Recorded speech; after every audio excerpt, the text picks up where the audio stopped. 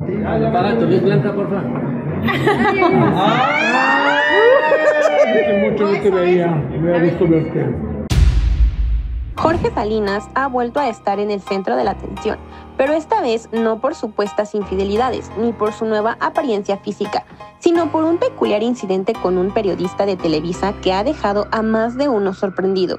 El reconocido galán de telenovelas ha mantenido una vida llena de controversias desde sus inicios en la pantalla y a sus 55 años sigue generando debate en cada una de sus apariciones, a pesar de sus esfuerzos por llevar una vida alejada de los escándalos junto a su esposa Elizabeth Álvarez y sus hijos.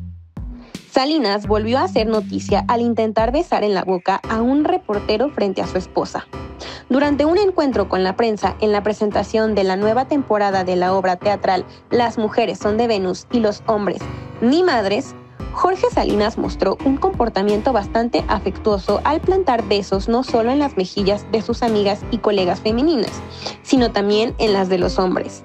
En un video que circula en redes sociales se observa cómo Jorge toma la cara del reportero y trata de acercarlo para darle un beso en la boca a pesar de que este mostraba confusión, sorpresa y gestos de rechazo.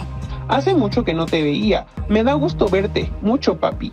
Expresó el actor mientras el reportero se quedó sin palabras y otros colegas continuaron con las preguntas. Aunque Elizabeth Álvarez se encontraba detrás de él conversando con un periodista, decidió ignorar el incidente, mientras los presentes expresaban emoción por el momento inusual. Mientras disfrutaba de palomitas de maíz, la actriz pidió a su esposo que se retiraran para disfrutar de la obra protagonizada por Cintia Aparicio, de 30 años, y su esposo Alexis Ayala, de 58 años. Las reacciones en redes sociales no se hicieron esperar.